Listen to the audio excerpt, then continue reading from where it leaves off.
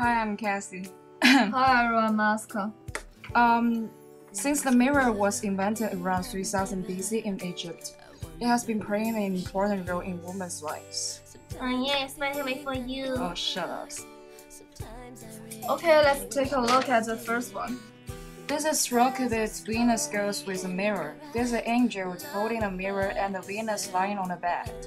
Her pose looks relaxed. She's naked. These painting colors are pretty simple. We still can see her pretty faces from mirror.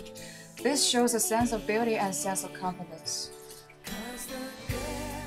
The second painting is Venus at the mirror. This is a blonde nude. Her body seems a little bit fat to us, but it is the ideal figure at that point of time. The mirror is holding by her son Cupid. There is an African woman slave show behind the nude. Um, the reflection of Venus' face is very clear and shaped. She's looking at a mirror through the mirror. Okay, this Picasso girl before a mirror uh, is a cubism work.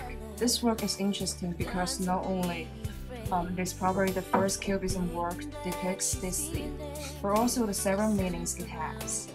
The left figure is a uh, pregnant girl, seems confident and assertive.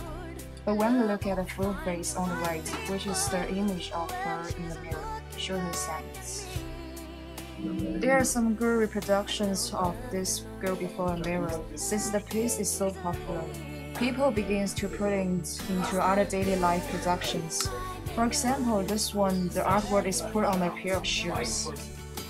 This one is another painting of Picasso, but it's way different from the original one.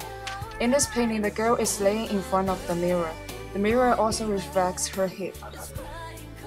This is an interesting piece. It's the same scene carved on the surface of the watermelon. The color is also very attractive. Because the green surface is already have basic color tone, or he simply put some red part on where the original part has. This is pig in the mirror. This painting is trying to amuse the viewers. This pig is smiling at us. How weird it is.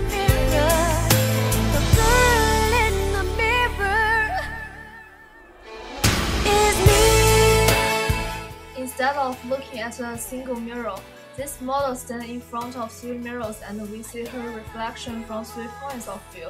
The use of light is important.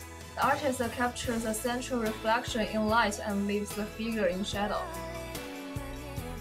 The famous American illustrator Norman Rockwell captures the innocence of a young girl in this quiet study.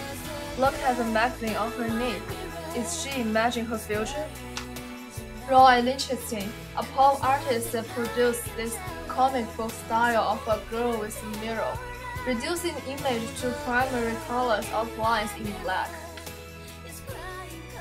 Here comes my favorite one. It can be viewed as a reproduction of the Rokeby Venus. The Venus has almost the same pose as the Rokeby Venus, except for she is facing to the viewers. She has the standard blondie appearance. However, her facial expression is really ugly, and we can see her inner body construction. Her son Cupid doesn't like a god at all. He's more like a devil. But thanks to the pop style colors Aaron used, this work doesn't look so horrible after all. Now let's have an ending. Thank you guys for watching the video. Bye. Bye.